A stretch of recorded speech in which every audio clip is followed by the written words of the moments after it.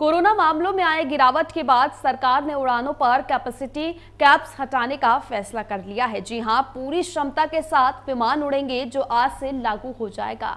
नागरिक विमानन मंत्रालय के मुताबिक आज से घरेलू व्यवसायिक उड़ानों में यात्रियों की क्षमता को लेकर लागू पाबंदियाँ हटा ली जाएँगी। इससे उड़ानों का संचालन पूरी क्षमता से किया जा सकेगा और इससे रियायत के साथ सरकार ने यात्रियों से पूरे कोरोना नियमों का पालन करने के लिए कहा है। आपको बता दें कि सितंबर में में सरकार ने घरेलू उड़ानों की यात्री क्षमता बहत्तर दशमलव पाँच फ़ीसदी से बढ़ाकर पिचासी फ़ीसदी तक कर दी थी। इससे पहले मिनिस्ट्री ऑफ़ सिविल एविएशन ने जुलाई में डोमेस्टिक फ्लाइट्स की कैपेसिटी को 50 फ़ीसदी से बढ़ाकर पैंसठ फ़ीसदी किया था। ऐसे में आपको बता दें कि कोरोना की वजह से 23 मार्च 2020 से शेड्यूल अंतर्राष्ट्रीय उड़ानों पर रोक लगाई गई थी।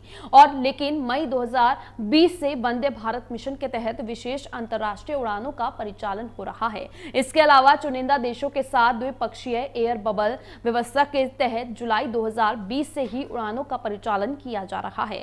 हालाँकि आज से अब सौ फ़ीसदी क्षमता से उड़ानों के संचालन की इजाज़त दे दी गई है और ऐसे में देश में कोरोना संक्रमण की स्थिति अब सुधर रही है और हफ़्ते भर में दूसरी बार कोरोना मामले एक दिन में पंद्रह हज़ार से कम दर्ज किए गए हैं। अगर रविवार की बात की जाए तो रविवार को स्वास्थ्य मंत्रालय की ओर से ताज़ा आंकड़ा जारी किया गया था जिसमें पिछले 24 घंटे में चौदह नए कोरोना मामले सामने आए थे, जिसको देखते हुए अब ये बड़ा फैसला लिया गया है कि डोमेस्टिक फ्लाइट्स पूरी क्षमता के साथ अब यात्रियों को ले जा सकेंगी।